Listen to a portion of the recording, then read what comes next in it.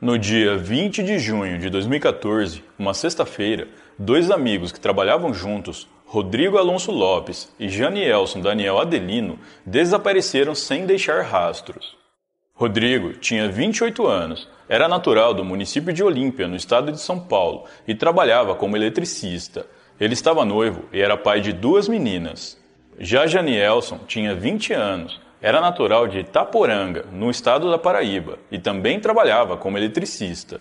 Os dois rapazes moravam em Barretos, mas desapareceram em Olímpia e trabalhavam numa mesma empresa da região.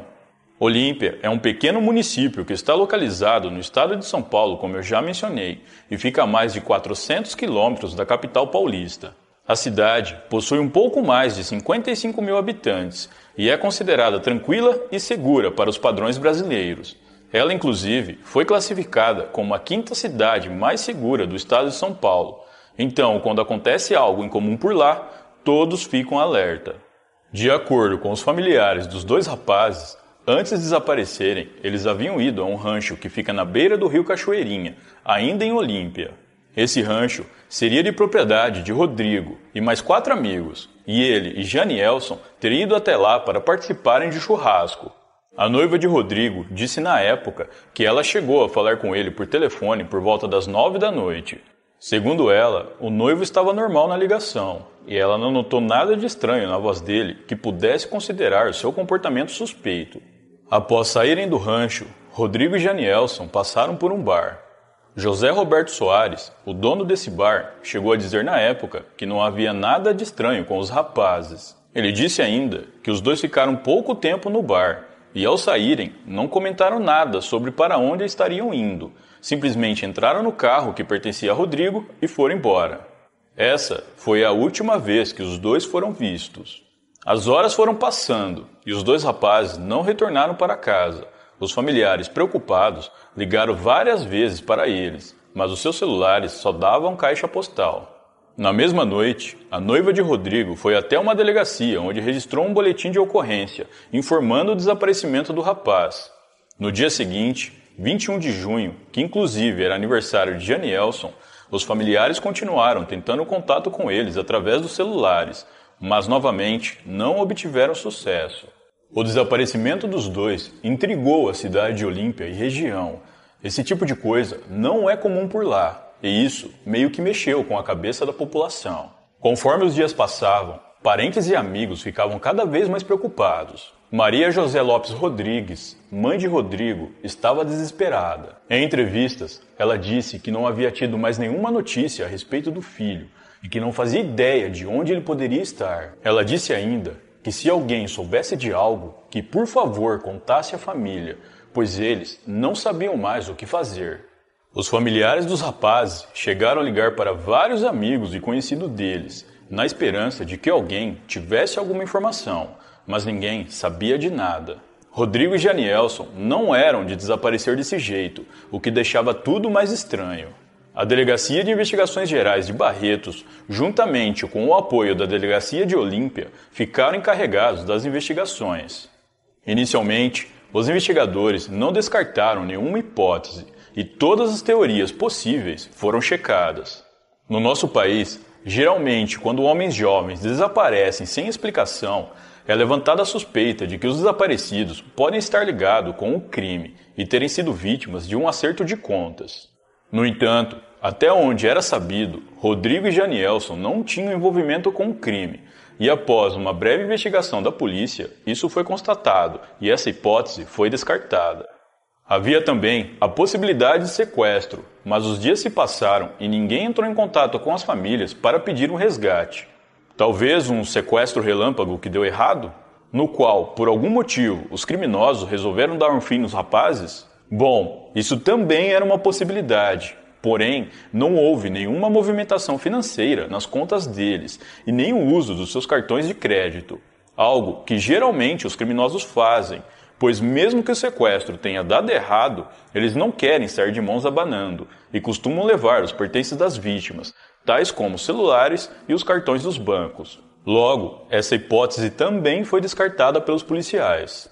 Bom, se eles não foram vítimas de um acerto de contas e também não foram vítimas de um sequestro, o que explicaria esse sumiço repentino. Havia também a hipótese deles terem fugido, ou como se diz no popular, caído no mundão, por não estarem felizes com suas vidas ou terem muitas dívidas. No entanto, isso foi rapidamente descartado, pois ao que tudo indicava, os rapazes estavam contentes sim com suas vidas. Rodrigo era pai de duas meninas e ele estava de casamento marcado.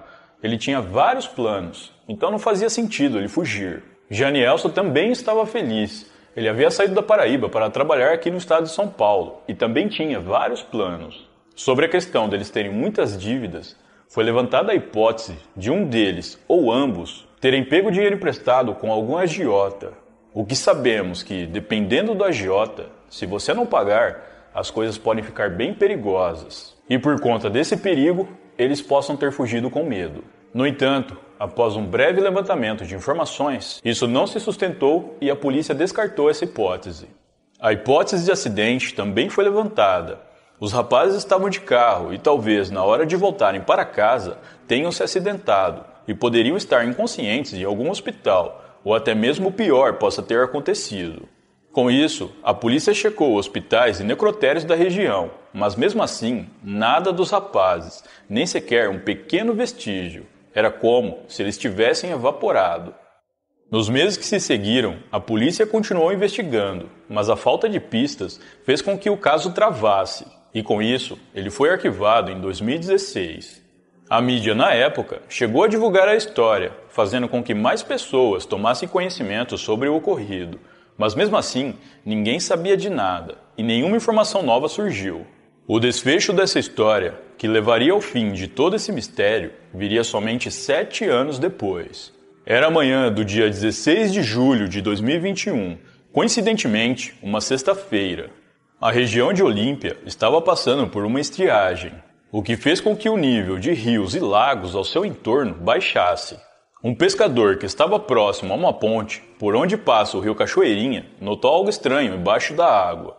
Ao se aproximar, ele pôde constatar que se tratava de um carro. O pescador então acionou a polícia militar, que acionou o corpo de bombeiros.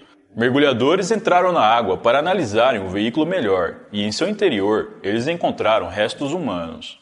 Ao consultarem a placa do carro, a polícia militar viu que se tratava de um Astra Sedan preto ano 2004 e havia um boletim de ocorrência sobre ele registrado no ano de 2014, envolvendo o desaparecimento de dois rapazes, Rodrigo e Janielson. No entanto, de acordo com os mergulhadores, só haviam restos de uma única pessoa no interior do veículo. Mais tarde, no mesmo dia, um guincho foi chamado para retirar o veículo da água e ser levado para uma perícia. Com essa nova descoberta, o caso que foi arquivado em 2016 foi reaberto os policiais agora iriam investigar o que de fato aconteceu e quais foram as causas desse acidente. A notícia do achado rapidamente se espalhou pela cidade e logo caiu na mídia. Muitos começaram a se questionar se havia só uma pessoa no carro, de acordo com os mergulhadores, onde estava a outra. Por conta disso, os mergulhadores continuaram vasculhando as águas do rio Cachoeirinha e quatro dias depois, no dia 20 de julho, eles encontraram mais restos humanos submersos. Tudo indicava que aqueles restos encontrados no carro no dia 16 e depois, mais à frente, no rio no dia 20, pertenciam aos rapazes aparecidos no ano de 2014. Ao serem informados das descobertas, as famílias de Rodrigo e Janielson disseram que estavam com um sentimento de alívio e dor ao mesmo tempo. Nayara Medeiros, irmã de Rodrigo, disse que era um sentimento muito contraditório. Ela disse que é um alívio por ter encontrado eles, mas em contrapartida é uma dor por estarem revivendo tudo de novo. Nayara disse ainda que a família não tinha 100% de certeza que os restos encontrados pertenciam ao seu irmão ou a Janielson, e que também não tinham certeza se o motivo do carro ter caído no rio foi um acidente ou um crime. Ela finalizou dizendo que haviam muitas perguntas sem respostas e queria aguardar o parecer das autoridades. Mais tarde, os familiares cederam material genético para que pudesse ser comparado com os restos encontrados através de uma análise de DNA. O resultado saiu depois de quase 30 dias e foi positivo. Realmente, os restos encontrados pertenciam aos rapazes Rodrigo e Janielson, desaparecidos no ano de 2014. Apesar de toda a dor, ao menos a família teve uma resposta após todos esses anos. O caso foi reaberto, como eu já mencionei, e a polícia passou a investigar se o que aconteceu foi um acidente ou um crime. Devido ao estado em que os restos foram encontrados, é muito difícil determinar se houve algum trauma causado por terceiros. No entanto, a polícia não descarta essa hipótese. Houve também a teoria de que um outro veículo pudesse ter colidido com o Astra, fazendo assim com que ele caísse da ponte para o rio. Essa ponte é bem estreita e parece que só dá para passar com um veículo de cada vez por ela. Porém, nas minhas pesquisas, eu não encontrei nenhuma informação a respeito se essa teoria da colisão havia sido confirmada ou não. Em algumas fontes, eu encontrei que a hipótese mais provável é a de que os dois rapazes talvez estivessem bêbados e, ao caírem com o carro no rio, não conseguiram se salvar por estarem afetados pelo álcool. Uma outra hipótese é que eles tenham tentado desviar de algo e caíram com o carro no rio e, devido à queda, ficaram inconscientes e impossibilitados de saírem do veículo que estava submerso. Bom, como vocês puderam perceber, tudo isso são teorias e a polícia continua investigando para saber o que de fato aconteceu. E assim que eu tiver novas informações a respeito desse caso, eu postarei na minha comunidade aqui do canal para vocês.